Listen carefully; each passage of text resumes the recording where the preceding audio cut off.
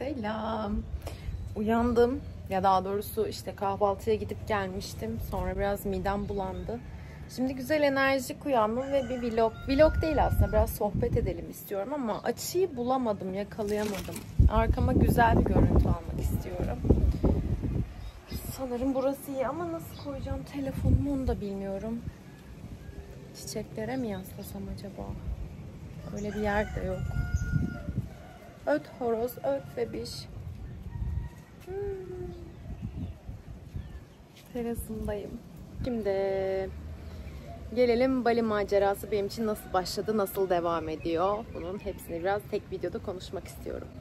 Şöyle ben e, yaklaşık 10 ay öncesinden yani 2023'e girerken pasaport tarasam gelecek diye hiç pasaportum yoktu. Gidip pasaport çıkarmıştım o dönemde işte danışanım da Bali'deydi. Sürekli e, Bali'ye gitmem gerektiğini söylüyordu. İşte spiritüel yönlerini anlatıyordu ki ben de dönüşümünü görüyordum falan. Böyle cebe bir atmıştım. Ama çok uzak yani hani. Okey neden olmasın. Sonra Mısır'a gitmeye karar verdim. Güneşten kaçmaya çalışıyorum. Sonra ben Mısır'a gitmeye karar verdim. Ballarım. Dedim ki Mısır'a gideyim, piramitleri göreyim çünkü çok görmek istiyordum. Bir gün Astral'le gitmiştim ama fiziksel olarak da bir göreyim dedim. Sonra köpek balığının Rus beyefendiye nasıl saldırdığını görünce direkt eledim. Hiç bilet bakmayı falan bıraktım. Sonra bir gün arkadaşımın doğum günü vardı. Ankara'da Atakule'ye gitmiştik. Bu arada burada bıyıklarım ve çenem terlemeye başladı. Murat'ın da çünkü alerjenik bir şey yediği zaman öyle oluyordu. Herhalde ondan kopyaladım. Full şuram terliyor yani. Bir gün e, manevi alem dediğim insanlardan dolayı tanıdığım Emre vardı. Hep yıl başlarında görürdüm ben Emre'yi. Ay ben burada oturamıyorum ama ya dur bir yastık alıp geleyim. Sonra Emre'yi ilk defa bir ev ortamı dışında bir yerde gördüm. Çok yakınlığı falan yakınlığımız da yoktu. Gördüm ama dedim bir selam vereyim. Yanına gittim. Aa dedim işte ne haber nasılsın? Yanında da Murat diye bir arkadaşı var. Tanımıyordum. Sohbet ederken dedi ki işte biz de Bali'ye gideceğiz. İşte bilet aldık onu konuşuyoruz falan. Aa dedim işte ne zaman gidiyorsunuz? 25 Aralık'ta falan dedi. Aa dedim süper ben de geleyim mi? Onlar da şimdi Emre'yle tanıştıklığımız var ama çok yakın değiliz. Beni tanımıyor aslında. Ben onu tanımıyorum. Murat'la orada tanıştım. Dediler ki aa gel süper olur, eğlenceli olur falan dedim. Arkadaşlar yalnız gelirim. Hani şaka yapmıyorum. Gelirim. Ciddiyim. Eğer birini istemiyorsanız okey. Hayır saçmalama eğlenceli olur gel dediler. Ben de tamam dedim. Gidiş dönüş tarihlerini öğrendim. 8 Ocak'ta da döneceklerdi. 2 haftalık bir program yapmışlar.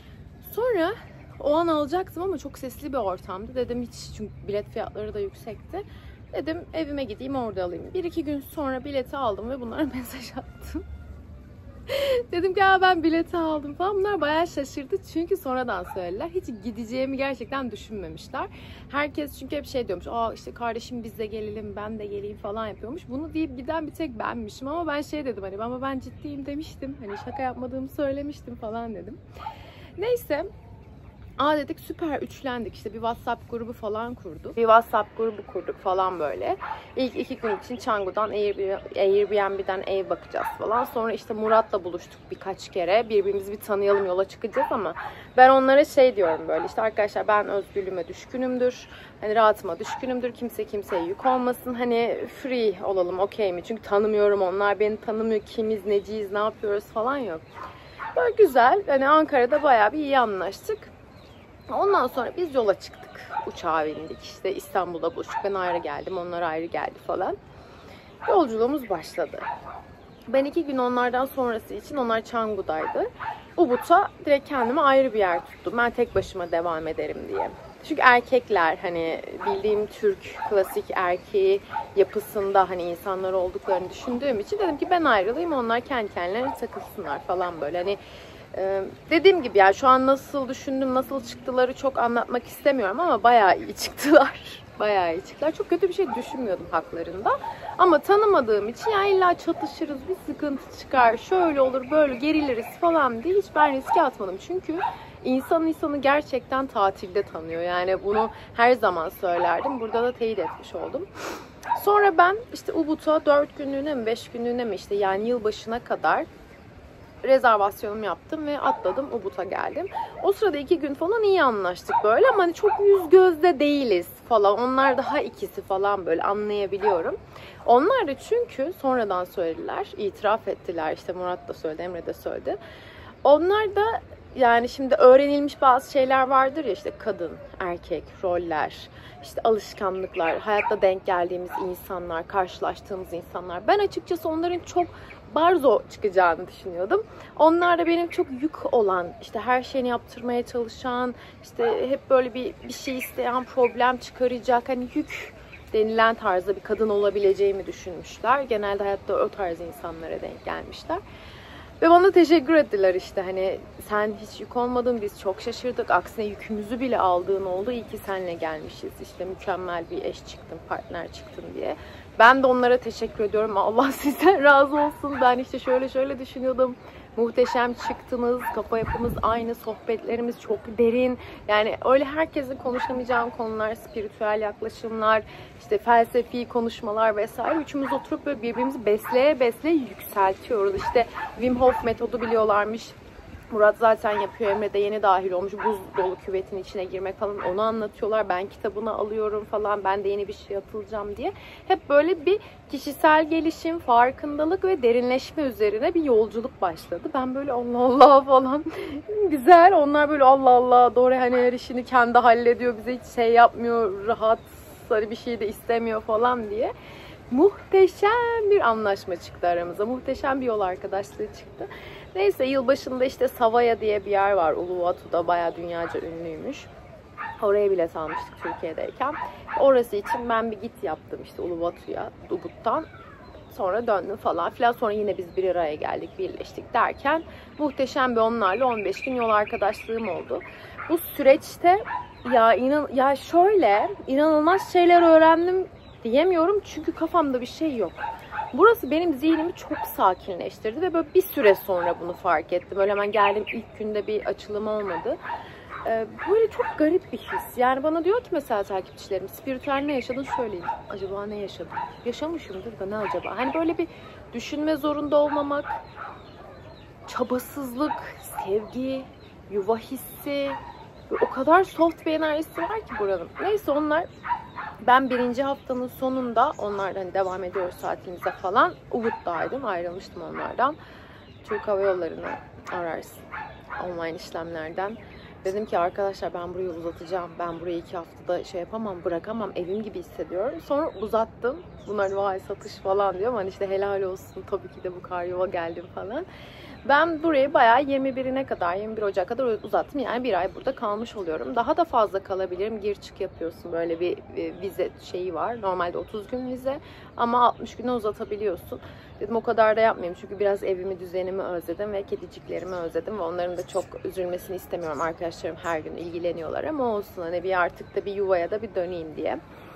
Neyse burası benim hayat yani çok ülke ülke gezmedim bu arada. İlk yurt dışı deneyimim. Ben zaten ondan da korkuyordum. Yani şimdi nasıl olacak? Şimdi Gürcistan ve Kıbrıs'ı saymıyorum. Onlar çünkü çok böyle hani benim kontrolümün dışında e, daha başka insanların sorumluluklarında gittiğim yerde. Gerçekten bir yetişkin olarak arkadaşlarımla gidip tek başıma devam edip tek başıma döneceğim bir serüven. Hayatımda kredi kartı bir kere kullanmışım, patlamışım. Yıllardır kullanmıyordum. Kredi kartı çıkarttım falan. Para çekebilir miyim bilmiyorum. Nakit ne kadar yetecek bilmiyorum. Yani böyle büyük bir soru işaretim ve tatilimi uzattım. Yaptığımız enerji çalışmalarının çok büyük ekmeğini yiyorum. Ya inanılmaz. Anlatacağım şimdi. Ee, gerçekten burada bir yetişkin bilincine kavuştuğumu fark ettim. Zaten konfor alanından çıkmak istiyordum. Ha burayı mesela neden işte Bali bu kadar uzak bir yer? Zaten spiritüel bir yer. Yani bu tartışmaya kapalı bir konu. Bir sürü ley hattı buradan geçiyor. Ley hattı geçmesin o umurumda da değil. Yani inanılmaz spiritüel, mistik bir yer. Burada yaşadığımız dönüşümler, e, bazı arkadaşlarımın yaşadığı duygusal farkındalıklar, saatlerce ağlamalar, bir anda gelen göz dolmaları yani böyle gerçekten ana rahmi diyorum ya ben. Ubud'a özellikle anne rahmi. Hatta geçen gün işte Çangu'dan geliyordum. Ubud taraflarına girdiğimi görünce bak tüylerim diken diken oldu. Şey dedim. Aa ikinci evime geldim, yuvama geldim dedim kendi kendime içimden. Sonra aa gerçekten böyle hissediyordum ama hani cidden yerleşmiş bir duyguymuş bu diye. Ne anlatıyordum? İşte burası çok spiritüel e, kesinlikle muhteşem bir yer. Benim aslında tabii ki spiritüalizm, inziva, enerji yenilenmem gerekiyordu. Ankara'da bir binada yaşıyorum. Evet olabildiğince doğaya çıkıyorum, meditasyonlarımı yapıyorum, toprakla iç içeyim. En kötü bir parka atıyorum kendimi ama böyle bir şey değilmiş. Onu fark ettim. Yani aslında ben benzinin bittiği zaman bir litre bir litre alıyormuşum. Buraya geldim full depo artı bonus bonus bonus bonus haklarım olduğunu gördüm. Gerçekten böyle tertemiz arındım, tertemiz oldum burada. Buna ciddi derecede çok ihtiyacım var. Çünkü hem bireysel çalışıyordum hem toplu çalışıyordum. Gündelik hayatta arkadaşlarımla olan ilişkiler, flörtler onlar bunlar derken bayağı negatif üzerimde vardı. İster istemez. Bir de hani benim böyle bir şeye ihtiyacım vardı. Hem bu sebeple hem de konfor alanımdan çıkmak istedim. Ankara'dayken çok fazla bir özdeğer, ben kimim soruları, ben ne yapıyorum, neden atıyorum bana uygun olmayan. Şimdi bak Hayatta karşılaştığımız insanların evet bize bir öğretisi var. Bunu biliyoruz. Bunu tartışmayacağım. Evet o insanlarla bir alışverişimiz vardı. O yüzden birlikteydim. Bana uygun olmayan dediğim, bana bir şey katmayacak dediğim insanlar da elbette ki bir şeyler kattı ama daha farklı bir taraftan anlatıyorum. Yani spiritüel tarafını bırakalım şimdi. Böyle bir, bir üçüncü göz çalışmasından sonra falan inanılmaz farkındalıklar gelmeye başladı. Arkadaşlıklarımı sorguladım. Ben ne yapıyorum? Ha bu tabii bileti almıştım bu arada. Zaten hani sistem beni hazırlamaya başlamış. Beni açmaya başlamış. Çok hızlı bir süreçti çünkü bu.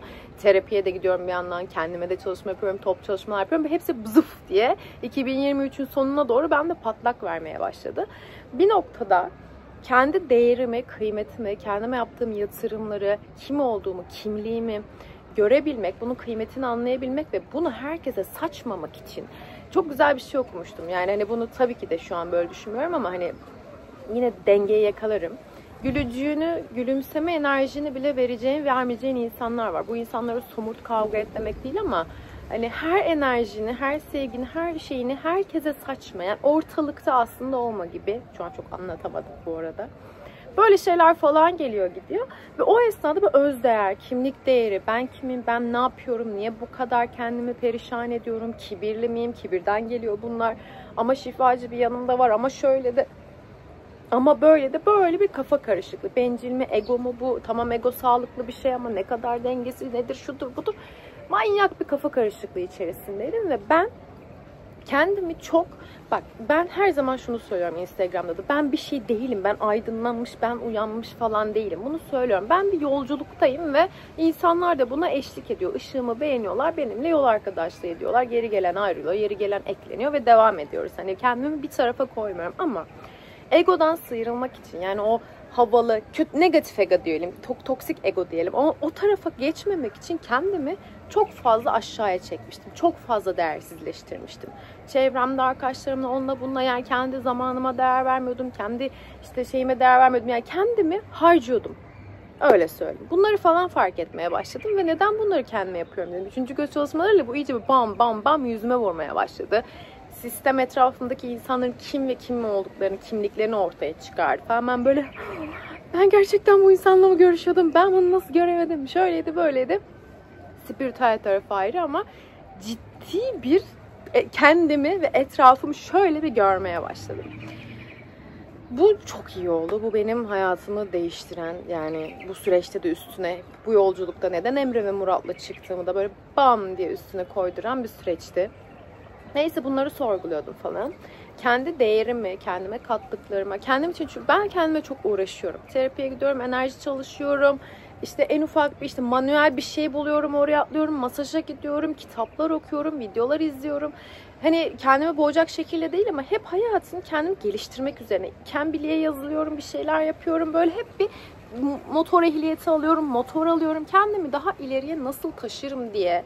E, ama bu birileriyle yarış değil. Hani kendim ne istiyorum cevabından çıkan şeyler sonuçlar. Bunlar insanlarla yarışma ya da onları gösterme şeklinde değil. Bundan çok eminim Böyle hep derdim kendimledir yani benim. Böyle bir süreçteyim ama baktım ki kendime bir şeyler eklerken eklediğim şeyleri aslında değersizleştirip kendimi per perişan ediyorum baktığın zaman ya da kendi kıymetimi bilmiyorum diyelim. İlla böyle bir yüksek fedakarlıklara falan gerek yok. O, o bile kibirden geliyor baktığın zaman. Biraz da aptallıktan olabilir. yok ya yok. ben çok mantık insanıyım. Yani işte birinin bir şey ihtiyacı var, sende bu var. E, bu verilir. Yani bu tartışılmaz, bu konuşulmaz. Seni öldürmüyorsa tabii senin hayatından büyük bir şey götürmüyorsa. Ama anladım ki insanlar böyle değil. Dünya sistem böyle değil. Yani bunu da yapacağın ya da yapmayacağın durumlar, insanlar var. Bunları ayırt etmen gerekiyor diye bayağı bir bana bir olgunluk, bir ders geldi. Kendi değerimi unuttuğum, e, kendi değerimi hissetmek istediğim bu süreçte zaten Bali efsane oldu. Çünkü atıyorum İngilizce benim %100 burslu okumuş. %100 İngilizce, %100 bursu da eklemiş oldum araya. Atılımda okumuştum ve hani İngilizcemi yavaş yavaş kaybediyordum. Arada Kamil derslerine katılıyordum ama ne kadar. İşte çat pat Almancam vardı o gitti zaten onu veda ettik adadan. İşte motor ehliyeti aldım. İşte böyle kıyafetler alıyorum, kitaplar okuyorum, farkındalık diyorum, derinleşme diyorum ama bunu kendi kendime yapıyorum. Benim bunları kullanabilmem için yani kendime kattığım şeyleri değerini anlamam için bu alana girmem lazım. O kadar işte korku çalışmaları yapıyorum, enerji çalışmaları yapıyorum falan ama hani e, aynı evin içerisindeyim, aynı semtin içerisindeyim ve kendimi çok fazla deneyimleyemiyorum. Yani şöyle düşünün. Bir altın madeni buldunuz. Kazıp kazıp işte bankaya atıyorsunuz ama o parayı harcamıyorsunuz. Ya da o parayla ne yapacağınızı düşünmüyorsunuz falan gibi anlatabilirim. O yüzden Bali benim için bir çok uzak. Kesinlikle Türkiye'den. Herkes diyor ki zirveden başlamışsın dedim. Evet. İkincisi arkadaşlarımdan ayrışma sebebim de oydu. Tek başıma yaşayabildiğimi, hiç bilmediğim, etmediğim, tanımadığım dünyanın bir ucunda kendimi idare edebildiğimi, bir yetişkin olarak sorumluluklarımı alabildiğimi, problemlerimi çözebildiğimi, kendimi ifade edebildiğimi görmem lazımdı. Bunu görmem lazımdı. Aslında kendimi yine kendimle onaylıyordum. Kendi değerimi, kendime kattıklarım için, kendimi şöyle öpücük kondurmak için bunları kullanabileceğim zorunluluklarda bırakmak istedim kendimi. Zorunlu kılmak istedim. Geldik mesela işte ilk gün uyandık ve motor kiralayalım dedik. 5-6 aydır motor kullanıyordum. Scooter kullanıyordum bir de. Türkiye'deyken motor almıştım. Böyle kırmızı bir çok tatlı düdütüm. Muhteşem işe yaradı. Muhteşem işe yaradı. Murat'ın daha önce geçmişi varmış ama aktif kullanmıyor. Emre de birkaç kere kötü bir anı yaşamış motorla ve tedirgin de. Hani aralarında en iyi ben kaldım baktığın zaman. Ben bile ama şunu düşündüm bir an. Ya burada trafik soldan akıyor hiç o riske girmesek mi? Bir gece önce havaalanından eve geçerken de hemen Türkiye'den sağlık sigortası yapmıştık. Yani ne olur ne olmaz diye yaptırmıştık bir sigortacıya. Dedim neyse ya doğru öğrenirsin. Sen öğrenebilen bir insansın. Yani trafik sağ değil soldan akıyor. Yani bundan korkma. Korkma yani ne var oradan hani neleri başardın, neleri hallettin, neden şu an bundan çekiniyorsun? Derinleşmedin, şöyle yaptım. Tamam ya sürelim. Okey okey sürelim. Emre atladı. Helal dedim ki helal cesaret cesaretine hayran kaldım. Ben olsam aslında bu deneyimsizlikle bunu yapmazdım. Seni gerçekten çok kutlarım yani. Hani büyük bir cesaret. Çünkü motor arkadaşlar bu. Türkiye'de kullandığım için biliyorum. Hani ekipmanım motorumdan daha pahalı öyle söyleyeyim. Çünkü can sağlığı, güvenli vesaire. Ama tabii Bali'de bütün yollar ve herkes ve her şey motor bilincine göre e, yaşandığı için arabalar falan çok saygılı. Bunu bilmiyordum. Neyse Mesela orada iki motor ehliyetimi almışım, iki motor kullanıyorum. Hiç arkadaşlarıma da engel çıkarmadım. Kendi rahatımı da korudum. Kendi işimi de hallettim ama motoru kaskımı aldım ve hani burada lokal bir insan gibi arkadaşlarıma da eşlik ederek keza onlardan ayrıldım yalnız full motor kiraladım. Hep böyle motorumla oradan oraya gidiyorum, buradan buraya gidiyorum ve dedim ki ya iyi ki motor ehliyeti almışsın. Kendine bunu katmışsın. Bak dünyanın bir ucunda buna ihtiyacın oldu. Çünkü her defasında motor ya da taksi çağırmak, motor şoförler de var burada, motorlu şeyler. E, zor olacaktı. Bekle, git, gel. Kimisi gelmiyor bazen falan böyle. Hep böyle bir bekleme, bir zaman kaybı olacaktı. Şu an tınk tınk tınk tınk tınk yapıyor. Dedim helal olsun kız doğru. iyi ki almışsın. E, İngilizce burada daha da kötüye gitti anlamadım. Çünkü birçok insan İngilizce bilmiyor ve böyle, böyle çok basit anlaşmaya çalışıyoruz. Artık arkadaşlarla şey karar verdik. İngilizce bitti. Tın ne tın ne. İngilizce tın ne. Artık ben de Kürtçe'ye falan geçeceğim. O daha anlaşılabilir şu an için. Yok yani asla yani çat pat pat küt bir şekilde anlaşıyoruz ama. Hiç korkmadım, gerilmedim. E, bu konuda da işte yıllarca işte okul bitmiş olmasına rağmen hep İngilizce altyazı bir şeyler izledim. Türkçe altyazılı İngilizce diziler vesaire. Hani o İngilizcemi korumaya çalıştım. İyi ki korumaya çalışmıştım. Şu an dünyanın bir ucunda arkadaşlarım döndü Türkiye'ye ve ben tek başıma hani kendimi idare edebilecek kadar çok şükür hani her şeyimi halledebiliyorum. Hiç çekinmiyorum, hiç de kasmıyorum. Ondan sonra mesela bu bana çok iyi geldi. Helal olsun kız Dore sana dedim. Çünkü işime yarıyor kendime kattığım şeylerin işime yaraması bana büyük bir özdeğer, özgüven, öz farkındalık ne dersen artık buna böyle bir evet ya yaptın sen bunları, yaşadın sen bunları yani hani bak şu an bunların ekmeğini yiyorsun dediğim bir noktaya geldim ve bu beni çok mutlu ediyor. Ondan sonra ya bir sürü detay var bu arada. Hani tek tek var ben şöyle ay böyleyim demek istemiyorum ama hani motor ve İngilizce benim için çok böyle şey helal olsun kız sana dedirtecek bir şey oldu. Asıl asıl asıl beni en çok burada etkileyen şey, e, kendi ekmeğimi yediğim şey yaptığımız toplu çalışmalar, biyoenerji çalışmaları. Hep şunu söylüyorum. Biyoenerji çalışması aldıktan sonra o konuyla ilgili o alana bir girin. Bakalım eskisi gibi hissediyor musun? Komple işte dönüştün mü? Ne hissediyorsun? Yani böyle bir o alana gir. Yoksa şey böyle hep şu örneği veririm işte. Ee, arkadaşım mesaj attı. Ee, atıyorum işte aşk, ilişki, sevgiyle ilgili bir çalışma alıyorsun ama evde oturuyorsun. Tabii ki de mucizeler mümkün ama bir sahaya da çıkman gerekiyor yani baktığın zaman artık nasıl tarz insanlarla karşılaşacaksın artık nasıl insanlardan hoşlanıyorsun bakalım hayat sana ne sürprizler sunacak vesaire hani görebilmemiz için o alanlara da girmemiz lazım derim hep. Ben burada yani hep diyorum üçüncü göz çalışması zaten benim için çok özel bir çalışma oldu.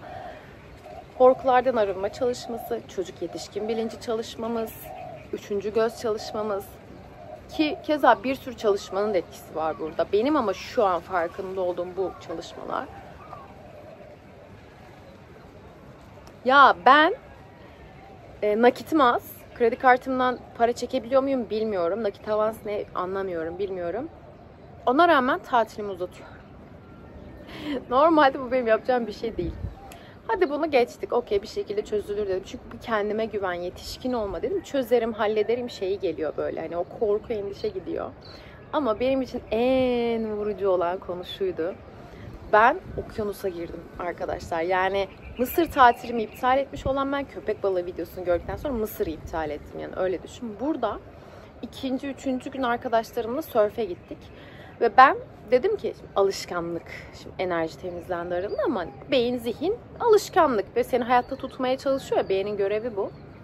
Köpek balığı yani derin derin olabilir. Aslında köpek balığı da çok değil böyle derinlik beni şey yaptı. Hani palet olmayacak, board olacak. Yıkılırsam falan nasıl olacak?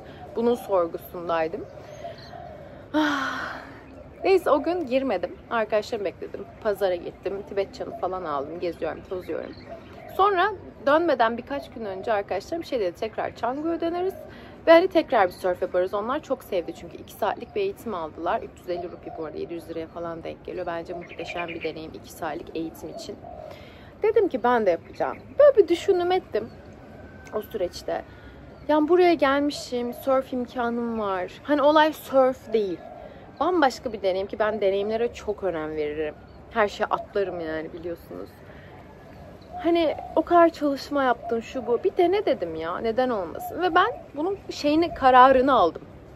Ondan sonra biz Nusa Penida diye bir tane ada var. Bak daha dalış falan yapmamıştım. Nusa Penida diye bir ada var. Orada mercanlara falan dalış diye bir program var. Oraya kaydolduk. Ben girdim paletlerle, gözlüklerle. Tekneden atlıyoruz, dalıyoruz, çıkıyoruz. İşte orada büyük böyle adı, hayvanın adını unuttum. Onları gözlemleyeceğiz falan diye. GoPro'mu aldım, video çekiyorum, iniyorum. Türkiye'de gibi. Ki Türkiye'de bile abimle girerdim ben bu arada yani. Ciddi derecede köpek balığı fobim vardı benim. De denizin altını, altını bilmediğim denize asla zaten girmem. Ve burada okyanustayız bu arada. Hiç aklıma köpek balığı gelmedi. Hiç aklıma korku gelmedi. Yani ben sörfe girme kararı aldıktan sonra yaptığımız dalışta hiç hiç o konu için kafamda enerji temizlenmiş ve ben o konuşan zihnime de sus. Okey bunu yapacaksın dediğim noktada hiç korkmadım. Tek başıma da yüzdüm, videoda çektim, girdim de çıktım, koy koy gezdik falan.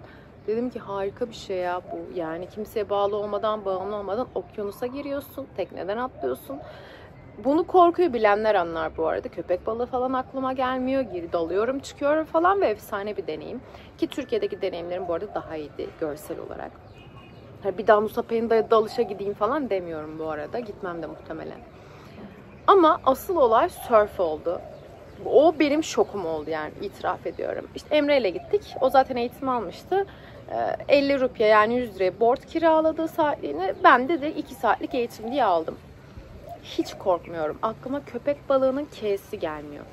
Ve burada okyanuslar çok böyle uzun uzun çok uzak. Uzun yani böyle su vallahi gittikçe gidiyor falan. Ve e, boyunu falan aşmıyormuş. Onu söylemişti zaten Emre. Okey. Yani aşsa falan da okeyim. Su karanlık asla içini görmem. Benim için bu ya ya imkansız bir şeydi. Bak hani imkanı yok. Ya anlatamam sana. Su karanlık. Ayağımda bir şey yok. Ayağıma her şey değebilir, batabilir. Board, ayağıma bir şey bağlanmış. Boardla bağlayayım. Board kocaman. Normalde taşıyamıyorum falan. Üstüme yıkılsa falan e, korkular. Anam da sörfçüydü sanki. Babam da sörfle büyütmüş gibi bizi kulaç at kulaç at gidiyoruz. O kadar uzaklaşıyorsun ki telefonla birinin seni çekme şansı yok zaten. Özel böyle kameralar şeyler var, e, lensler var. Onlarla çekiyorlar. Çok uzağa gidiyorsun yani ve büyük büyük dalgalar var bu esnada. Gidiyorum. Dalga beni yıkıyor. Tek başıma da kaldım. Dalga bir daha yıktı. Board tepe taklak oldum falan kalkıyorum, borda çıkıyorum. Bir daha derine doğru, hocama doğru yüzmeye çalışıyorum ama hoca çok uzakta ve orada yüzüşüm şu, bir daha yapacağım diye. Hocamın yanına gideyim, ay korkuyorum diye değil. Ve suyun altı karanlık. Hiçbir şey görmüyorum. Arada yosunlar falan geliyor böyle. Normalde benim ağlıyor olmam lazım. Ya bak anlatamam. Ben Türkiye'de denize giremiyordum köpek balığı korkumdan. Bana gülüyorlardı. Lara'ya gitmiştik. Hani ebeveynlerimle, büyüklerimle girmiştim böyle. Ve kıyıdayız ha derinler. Zaten geçtim ben derinlere. Derinler zaten yoktu. İşte dediğim gibi bir abimle yapıyorduk bunu çekim falan. Yüz sanki ben devrilmemişim, sanki ben yıkılmamışım, sanki suyun altını görmemişim, sanki köpek balığı ihtimali yokmuş gibi. En son yorulduğum için bir saat sonra var, dedim ki hocam bitirelim zaten yağmur geliyordu, dalga da biraz durmuştu.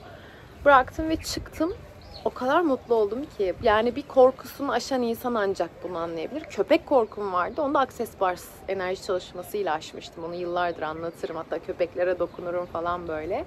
Ki yakınlarım bilir. Hani belki siz bilmiyor olabilirsiniz ama şimdi bir de köpek balığı korkumla gitti. Deniz korkumla gitti ve bu benim için burada yaptığım çalışmaların en bana göre en büyük geri dönüşü en büyük gördüğümüz. Çünkü bir şey, korkundan arındığın zaman o özgürlük hissi ve ben surf yaptım. Surf'te poz verdim falan böyle. Hani kalktım dalgalarla savaştım. Yepyeni bir yönümü keşfettim. Bayılmadım. Bu arada surf onu da söyleyeyim. Hani surf surf diye olmuyorum. Arkadaşlarım şey dedi işte her yıl surf için gelelim buraya toplaşıp falan dedi. Surf için gelmem muhtemelen çünkü çok yorucu. Ben anladım o filmdeki surfçi çocukların niye bu kadar kaslı ya da kızların tıkır tıkır tıkır tıkır olduğunu anladım. Güç gerektiren bir şey. Ben o kadar yorulacağım yani bir 5 saniye 10 saniye ayakta kalacağım diye o kadar yorulacağım bir şey yapmak istemiyorum açıkçası. O yüzden deneyimledim.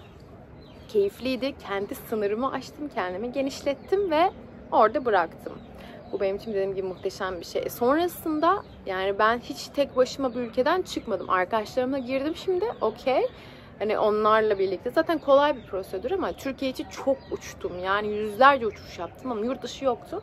Şimdi mesela havaalanından yani çıkarım herhalde falan diyorum böyle. Hani bizde mesela pul var ya pul harcı. İşte ileride onu fark edersen belli bir kapılardan geçtikten sonra geri dönmen gerekiyor da bilmem ne de şuydu da buydu da falan da filan. Böyle bir garip prosedürler falan. Hiç şey yapmıyorum. Yine ben tabii 10 saat önceden gidiyorum kendimi biliyorum. Böyle ya çıkarım, ya hallederim, çözerim. Çözülmezse bir yol bulunur. O kadar bir rahatladım ki, o kadar rahatladım ki kendi sınırımı aştım, kendimi gözlemliyorum. Çünkü çözebildiğimi görüyorum. Kendi başıma burada var olabildiğimi gördüğüm için dedim okey her şeyi çözersin.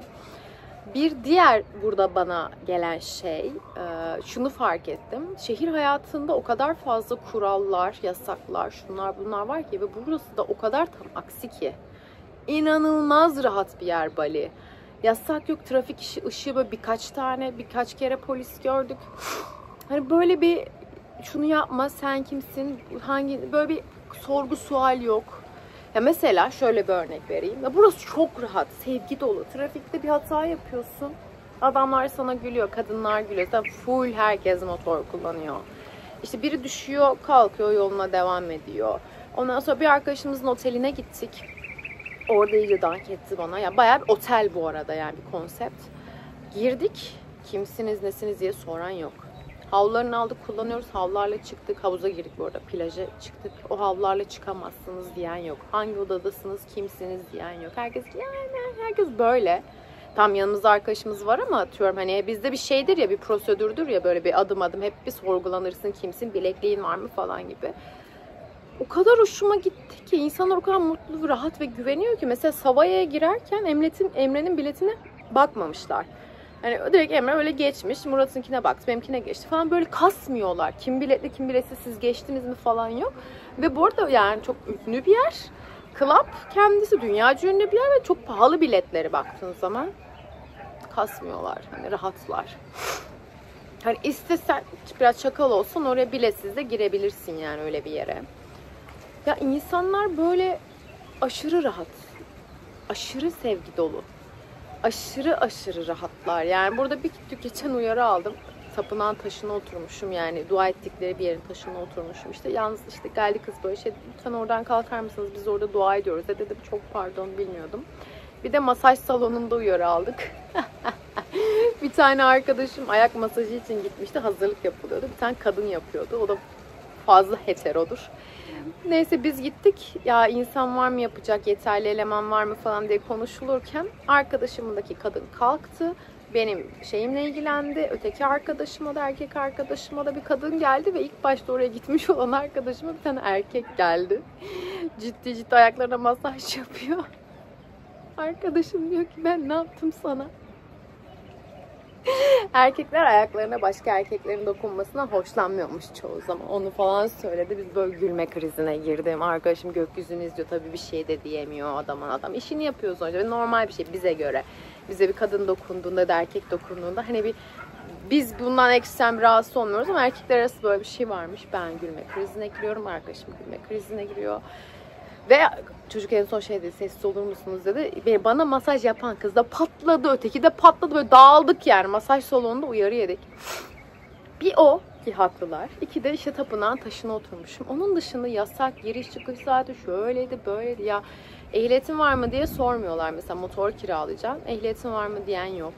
Böyle aman sözleşmeler aman yazılı şeyler yok.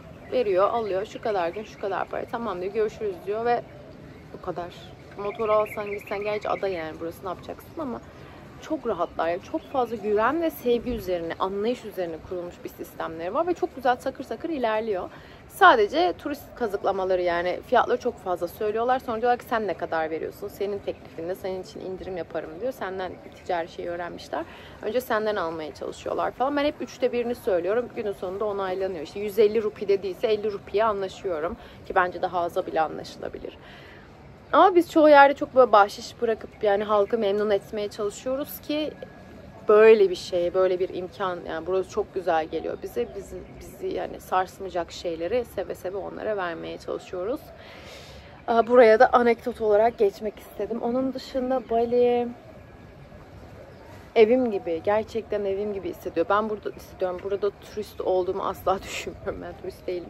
Zaten geleni uğurluyorum Türkiye'ye. Tabii dönüp dolaşıp ben kalıyorum burada. Güzel arkadaşlıklar edindim. Cem'le tanıştım, Tuğba ile tanıştım. Murat ve Emre'yi yakından tanıma şansım oldu. Murat'la da aslında bu yolculukla tanışmış gibi bir şey oldum. Türkiye'de her ne kadar birkaç kere buluşmuş olsak da inanamadığım insanlardan inanamadığım performanslar gördüm. Sahip olduğum ne kadar iyi kalpli dediğim insanların ne kadar bana hasar verdiğini, hasar niyetli olduğunu. Yok ya bunlarla olmaz acaba bunun arkadaşım nasıl olur dediğim insanların aslında ne kadar uyumlu ve benzer kafalarda olduğumuzu gördüm. Şunu anladım. Ön yargıyı bırak. iyisiyle kötüsüyle. Ön yargıyı bırak sadece gözlemle. Ciddi insanlarla arama sınır çektim. Buraya gelmeden önce zaten böyle bir arkadaş arınmasına gittim. E, bazı insanları hayatımdan çıkardım. Bazılarıyla merhaba merhaba. Bazılarıyla hani e, ayda bir falan buluşma gibi ama artık arkadaşlarımla çok sık buluşmak istemiyorum. Bunun bana çok fazla zaman kaybettirdiğini fark ettim ve buluşmalarımızda hep demeyeyim çok çoğunlukla tek taraflı yüre, yürüyen e, bir sohbet hali mevcuttu ve ben neden vaktimi harcıyorum ki diye düşündüm. Benim vaktim kıymetli. Yapacağım bir sürü onca hayalim şu bu varken neden neden yani hani bu kadar vereyim maksimum başka insanlara arkadaşım dahi olsa diye bir aydınlanma da geldi. O yüzden böyle bir yalnızlaşma demiyorum ama kaliteli yalnızlaşma diyebileceğim bir sürece soktum kendimi. O yüzden dönmek için sabırsızlıkla bekliyorum. Bu arada evimi çok özledim. Ben şunu fark ettim. Ben dünyayı gezerim, insanların yanına giderim, başka ülkelerde kalırım ama 15-20 gün. Kabak koyuna gitmiştim ben 2023 yazında işte orada bir inziva tatil arası bir şey. Orada da mesela şey demiştim 3 haftayı uzatabilirim tatilim demiştim oteli ama 2 haftalık rezervasyon yapmıştım. 2 hafta etti. Yani ben çantamı sırtıma alıp ülke ülke gezip aylarca eve uğramayacak bir insan değilim. Bunu çok net anladım. Ee, gelirim 15-20 gün kalırım yuvama geri dönerim ve 2-3 ay en az kendi ülkemde, evimde, yuvamda kızlarımla, kedilerimle, kendi rutinimle olmam lazım. Bunu çok iyi anladım. Kendimi tanıdım bu konuda. Çünkü benim amaçlarımdan biri geze geze bayağı seanslar yapmak. Her bölgenin enerjisiyle orada akıştan bana ne geliyorsa o konuyla ilgili bir toplu çalışma yapmak, kendime bireysel çalışma yapmak ya da bireysel çalışmak. Şu an anladım evet bunu yaparım ama çok peş peşe oradan şimdi Bali'den kalk Tayland'a. Orada mesela buradan Tayland'a geçebilirim bu arada. Ama yapmak istemiyorum. Hem kedilerimi düşünüyorum hem de e, evimi özledim. Evimi özledim. Bir daha 13-15 saat gelirim. Hiç problem değil ama şu an benim artık köklerime, Türkiye'ye, Anadolu'ya dönmem gerek. Bunu bir arkadaşım daha söyledi bana geçen gün. Dedi ki erkek bir arkadaşım. Bu geldiğim iki kişi değil bu arada. Ben de de Türkiye'yim yani. Benim yerim Türkiye. Evet gezerim, tozarım ama benim dönmem lazım da. Dedim ki kesinlikle aynı şeyi düşünüyorum. Her şey çok güzel. Burası ikinci evim. Belki içimden sürekli ikinci evim deme sebebim o. Çünkü birinci evimi bırakamıyorum. Bir yerde birinci bir evim var. Bunu derinlerde hissediyorum. O yüzden döner dolaşır güzel Ankara'ma giderim. Ki Türkiye'de birçok yerde yaşayabilirim ama yine Ankara diyorum. Belki zamanla değişir ama. Ankara'ya dönerim yuvamdan, köklerimden beslenip, beslenip, beslenip vakti geldiğinde nereye gitmem gerekiyorsa oraya uçarım. Top çalışmalarımı hazırlarım, kendimi hazırlarım, kızlarımı hazırlarım, beslenirim gittiğim yerden ve geri dönerim. Uzun vadeli sırtımda çantayla yolculuk yapabilecek bir insan değilim. Gezginlere Tanrı sabır versin ki veriyor. Ki aslında sabırlık bir şey yok. Şimdi ben kendimden yola çıktığım için sabır versin diyorum ama onlar zaten öyle yaratılmış. Yani onların ruhu bu. Onlar da mesela dönüp dolaşıp iki hafta sonra işte atom Ankara gibi bir yere dönmeyi herhalde kendilerine kötü hissedecek bir şey olarak düşünüyorlardır. O kadar özgür, o kadar free ruh olmaları için ne yaşadılar geçmiş yaşamlarında bilmiyorum ama ayrıca tebrik ediyorum onları. Çünkü dediğim gibi yani bir çantayla trin trin trin dünyayı gezmek cidden güzel olay ama bende yok. Ee, ben evcimenim bir noktada evimi yuvamı arıyorum. Bunu da öğrenmiş oldum. Dedim ki bu yolculukta kendimi tanıyorum, etrafımı tanıyorum. Ah şu üçüncü göz çalışması var. Galiba bir bunu söyleyeceğim. Çünkü ben yıllarca üçüncü göz çalışmasından kaçmıştım. Yani yapmadım çünkü üçüncü göz. İşte insanların üçüncü gözünü aktive etmek ya da o yöne epifiz bezine yönelik bir çalışma yapmak riskli olur diye hiç şey yapmıyordum. Bir gün geldi tabii ki de. Dedi ki sen hayırdır yapacaksın. Yani ben dedim okey tamam yapayım problem değil. Ve o çok istenilen üçüncü göz çalışmasını yıllar sonra yaptığımda dedim ki ah Demet hep üçüncü göze işte boyutlar ve varlıklar gözüyle bakmışım ama kendimi çevrim dünyasal olarak da somutsal maddesel olarak da görüp anlayabilmek için üçüncü göz efsane bir araçmış. Bunu deneyimledim. Buraya nasıl geldim bu konuya bilmiyorum ama işte ha kendimi görme, fark etme serüvenindeydim. Bali buna çok güzel ön ayak oldu. Sevginin ne olduğunu aslında işte dediğim gibi şehir hayatında çok kastığımızı neden kastık mesela? Çünkü mesela bir otele gittiğimde Sheraton'da, Hilton'da bir böcek görsem bu benim için problem olurdu ve değiştirirdim bir şeyleri ya da kalkıp giderdim. Çünkü şunu fark ettim. Burada yanımda böcek geliyor şöyle yapıyorum dönümü düzen şunu yap falan deyip orada yemeye devam ediyorum falan. Ya da işte şurada kertenkeleyi zaten hiçbir zaman dert etmiyordum ben hani köyde falan da ya da lojmanda çok görüyordum. Bazı hayvanlara çok aşinayım. Hani dağda falan sürekli bir şamanik şeyler yaptığım için okeyim ama bazı şeyler hijyen konuları benim için şehir hayatında problem olabilirken burada hiç olmuyor. Çünkü şunu anladım. Bu insanlar bana bunu vaat etmiyor. Bu insanlar bana sevgiyi vaat ediyor, anlayışı, huzuru vaat ediyor. Ve doğanın içerisindeyiz zaten. Yani bırak da böcek olsun o kadar da değil. O yüzden ben öyle düşünmüyorum, öyle yaşamıyorum. Çünkü şunu dedim. Ankara'da olsam buna takılırdım. Burada niye takılmıyorsun? Neden bunu görmezden geliyorsun dediğimde bunu fark ettim işte. Çünkü kapital sistem. Yani o Ankara'daki şehir hayatındaki diyeyim düzen sana bunu vaat edip yapmadığı zaman sen orada bir ha öyle mi o zaman böyle diye bir karşılık veriyorsun ben ya da en azından öyle Burada olay çıkarmıyorum yani hani ya pardon işte şu falan yine tatlı bir dil ama burada çok rahatlıyorsun. Çok gevşiyorsun. Çünkü aslında mesela ya benim için bu arada gerçekten zaten e, midesiz falan diyenler de oluyordu. Yine ben rahat bir insandım ama dediğim gibi şehir hayatında biraz daha böyle hani hı, hı, o zaman bu ne? Lütfen bunu şey yapın falan. Ama burada özüme döndüm aslında normalime döndüm öyle söyleyeyim yani takılmıyorum. Bunu mesela köydeyken de takılmıyordum. Bergama'dayken falan ya da bir dağda bir çalışma yaparken de takılmıyorum. Şehir hayatı ve onun bana dayattıklarıyla oyununa göre oynuyordum. Buraya geldim. İçimdeki kişi zaten buraya çok uygun olduğu için aslında kendime kavuştum ve asıl oyuna döndüm. Kendi oyunuma döndüm gibi. Öyle ya. Bali insanı çok anlayışlı, sevgi dolu. Bayağı sevgi dolarak gideceğim buradan. Daha bir 10 günüm, 9 günüm falan var. Bir meditasyon, bir yoga burada bir şeyler yaparım. Yarınki yoga şeyine mi katılsam acaba? Ay saatimde yok. Bir bakalım. Şu an gün batımı yaklaşıyoruz. Benim yolculuğum böyle başladı işte. Sonra tek başıma devam ettim. Arkadaşlarım şantiyeden fotoğraf atıyorlar. Yiyeceğim onları da ya. Özledim bu arada döner dönmez onları görmek istiyorum.